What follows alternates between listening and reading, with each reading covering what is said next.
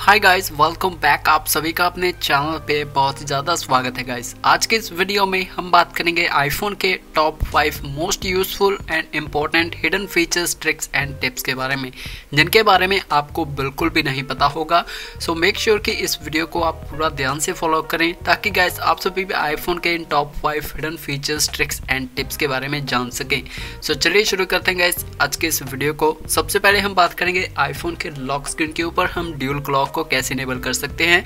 किसी और कंट्री का टाइम जोन हम कैसे ऐड कर सकते हैं अपने आईफोन के लॉक स्क्रीन के ऊपर एज ए ड्यूल क्लॉक तो इसके लिए आपको सबसे पहले अपनी क्लॉक की एप्लीकेशन में जंप करना है, इसको ओपन करेंगे। इस यहाँ पर आपको एक पर्टिकुलर सिटी को आपने ऐड करना है तो वो कैसे यहाँ पर आपको प्लस के ऊपर टैप करना है वर्ल्ड क्लॉक के सेक्शन में आपने आ जाना है। प्लस के ऊपर टैप करोगे तो आपको एक पर्टिकुलर सिटी को आपने यहाँ पर चूज़ करना है। यहाँ पर मैं सर्च करूँगा कुपरटिनो जो कि सिटी है यूएसए की, जहाँ पर एप्पल के हेड क्वार्टर्स हैं तो मैंने इस सिटी को, इसका टाइम जोन मैंने ऐड करना है लॉक स्क्रीन के ऊपर। तो मैंने इसको सर्च किया और यहाँ पर आपको सिंपली लॉक स्क्रीन के ऊपर आना है और यहाँ पर लॉन्ग टैप करना है कस्टमाइज के ऊपर टैप करना है।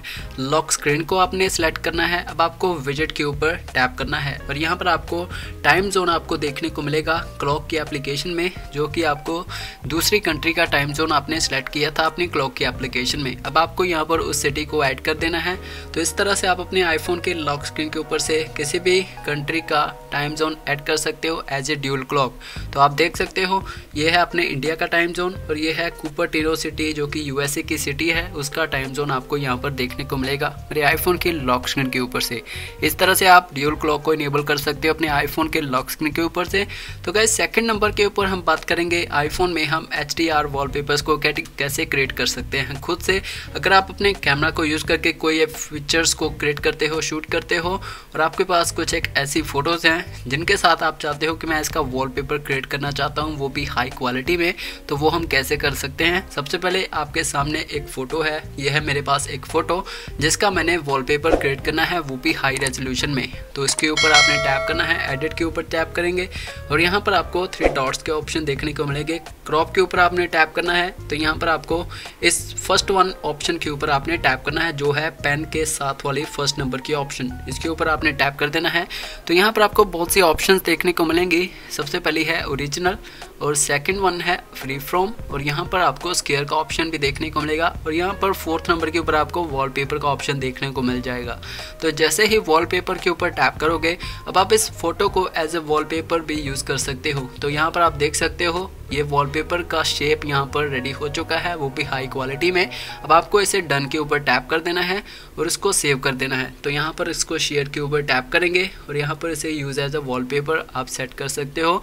बिल्कुल एग्जैक्ट साइज़ जो आपने वहाँ पर क्रिएट किया था, वही साइज़ आपको यहाँ पर देखने को मिलेगा आपके आईफोन पे। तो यहाँ पर आपको डन के ऊपर टैप कर देना है सेट एज वॉलपेपर पेयर तो यहाँ पर आप देख सकते हो, ये वॉलपेपर कम्प्लीटली रेडी हो चुका है।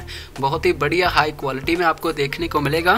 तो गाइज़ यहाँ पर थर्ड नंबर के ऊपर हम बात करेंगे, कई बार क्या होता है कि अपने आईफोन्स में कॉल आती हैं और हम उसे उठा लेते हैं और गलती से आपका हाथ यहाँ पर लॉक बटन के ऊपर पड़ जाता है, जिसके साथ अपनी कॉल जो है वो डिस्कनेक्ट हो जाती है कट हो जाती है। इसको आपने प्रिवेंट कैसे करना है?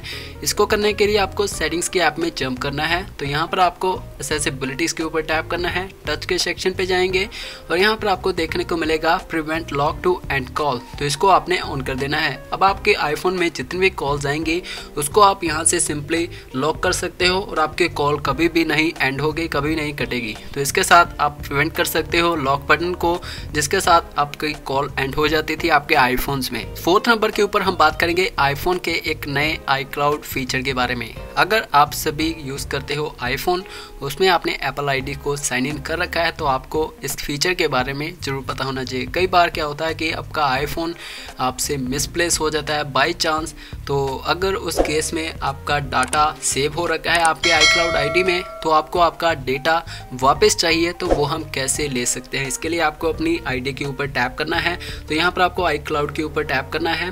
Thank you. तो गाइज़ यहाँ पर आपको आई क्लाउड के ऊपर टैप करना है।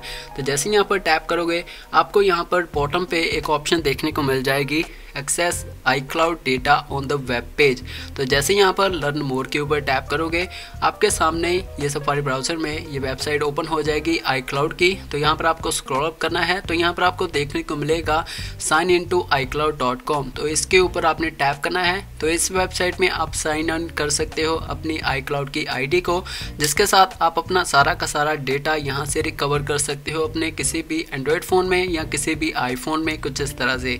बहुत ही हेल्पफुल है ये आई क्लाउड की, ये जो वेबसाइट है जिसके साथ आप अपनी आई क्लाउड आईडी को साइन इन करके कोई भी डेटा को रिकवर कर सकते हो फ्री में। अब हम बात करेंगे आईफोन में हम अनाउंस कॉल के फीचर को कैसे इनेबल कर सकते हैं। जब भी कॉल आपके आईफोन में आएगी, आपके आईफोन की सीरी आपको कॉल का नेम जो है वो अनाउंस करके बताएगी। तो उसको कैसे इनेबल करते हैं? सेटिंग्स की आपको ओपन करेंगे।